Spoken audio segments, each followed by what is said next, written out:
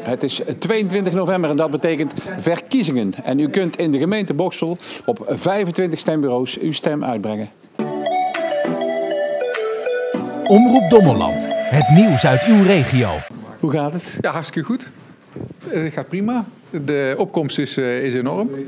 We hebben ruim eh, 100, eh, ja, zeg maar 100 eh, kiezers per, per uur eh, ruim eh, te verwerken. Was u er vanmorgen al?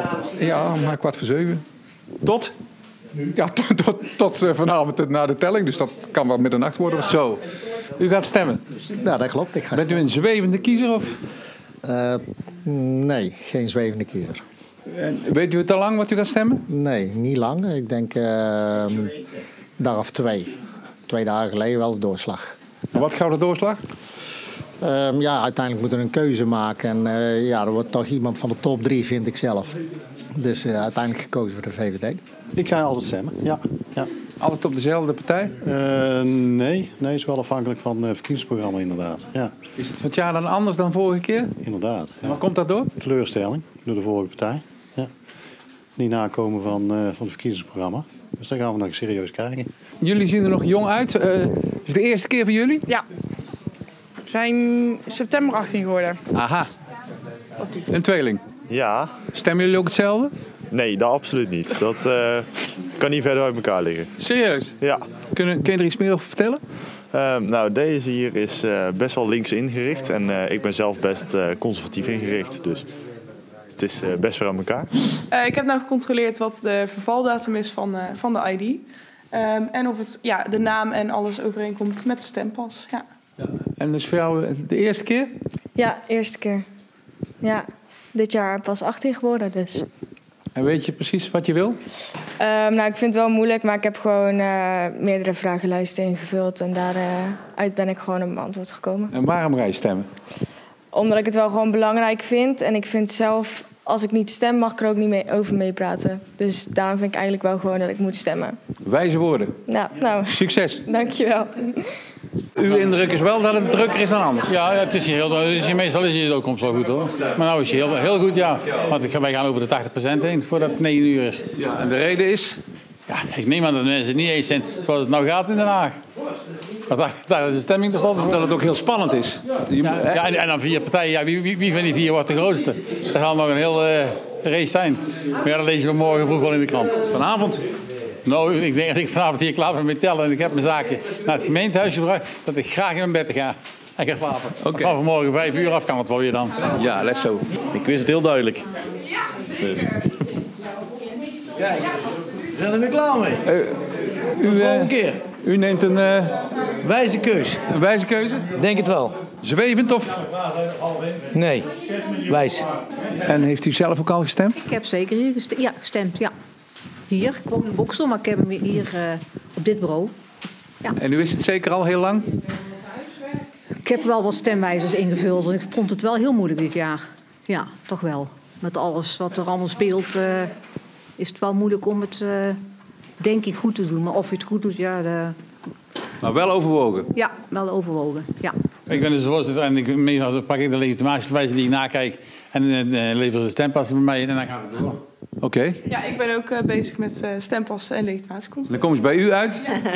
Ik geef, eh, ik nummer ze op volgorde en eh, we gaan het eh, stapeltjes maken. Aha. Ik kijk of ze niet op de zwarte lijst staan, zullen we maar zeggen. En wat houdt dat in, de zwarte lijst? Zwarte lijst. Het nummer wat hierop staat mag niet op deze lijst staan, want dan mogen ze niet stemmen. Met deze pas niet. Dus ja, dat is. eh, En dan? En als zij eh, ja roept, dan mag ik een formulier geven. En een potlood. U bent aan het tellen. Ik ben aan het tellen, ja, dat klopt. Zodat we dadelijk eh, een- eh, weten hoeveel mensen dat er hebben gestemd. En onze stembiljetten, dat het klopt. En hoe is de opkomst in Liemden? Heel goed. Grote opkomst. Ja, Super. ja. Er speelt nogal iets in Liemden hè, met arbeidsmigranten en zo. eh. Heeft dat meeges- meegespeeld voor u? Ehm, nou, nee, niet per se eigenlijk.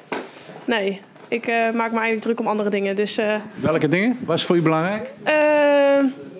Nou ja, ik woon er zelf op een boerderij, dus op zich eh, telt dat denk ik wel mee in mijn stem.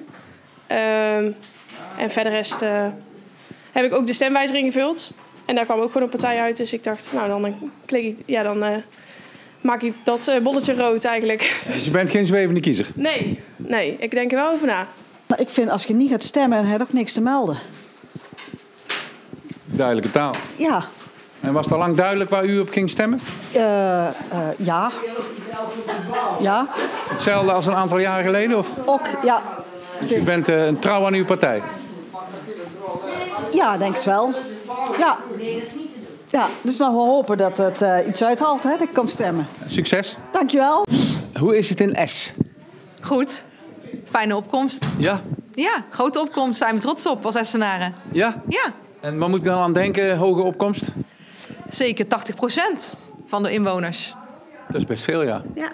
S kenmerkt zich door een hoge opkomst, enthousiaste stemmers. Dus dat is eh, Dat is eigenlijk reclame voor S dit. altijd. ja, ja, ja. Waarom gaat u stemmen? Want ik vind dat ik dat moet doen. Ja, vroeger was het een plicht, nu is het een recht. En ik maak graag gebruik van mijn recht. En wat is voor u belangrijk? Welke punten staan bij u hoog in het vaandel? Nou, een beetje wat het eh, in de media wel goed doet. Eh, volkshuisvesting, milieu, eh weet het, koopkracht. Dus een leefbaar houden van het land. Gaat u dan een klein beetje naar rechts, mag ik dat vragen? U mag het vragen, maar ik eh, laat me niet uit over mijn politieke kleur. Net gestemd? Jazeker. Maar u wist vorige week al wat u ging stemmen? Nee, ik, eh, ik moet zeggen, ik vond dit keer eh, misschien wel een van de allerlastigste keren van, ja, dat ik in mijn leven heb mogen stemmen. Eh, het grote aantal partijen. eh, grote verschuiving in de po- politiek qua, qua zittende, zittende leden in de Kamer. Dus ja, ik vond het best lastig om een keuze te maken. En wat maakt dan het verschil? Waarom stemt u op de partij waar u nu eh, op heeft gestemd? Ehm, als ik heel eerlijk ben, ik heb in het verleden altijd op, eh, op de bekende, ja, op de, op de basisstandpunten van de partij eh, gestemd. Ik had dit keer echt gewoon stemwijzers nodig om, eh, om te kijken waar de partijen voor stonden en of het overeenkwam met mijn eh, denkbeelden. Als ik de stemwijzer invul, komt er wel eens iets heel anders uit. En daar schrik ik dan van. Eh, ja, dat kan gebeuren. En dan eh, ga je toch eens even kijken waar dat dan aan ligt, welke, welke keuze dat je gemaakt hebt. Was dat bij u ook? Eh, nee, ik kwam eigenlijk toch wel redelijk overtuigd uit op de, op de partij die ik eigenlijk normaal gesproken ook, ook stem. Ja, u doet daar geen uitspraak over, zeker? Daar geen uitspraak over, niet nodig. En eh, zijn jullie al lang hier? Ben je al lang aan het werk? Ik ben pas vanaf drie uur aan het werk. Oh. Ik werk voor de gemeente en eh, van tevoren is een andere collega hier geweest. En wat zijn de werkzaamheden? Straks als het klaar is, dan ben je nog niet klaar om 9 uur? Nee, dan Want moeten dan? nog alles gaan tellen.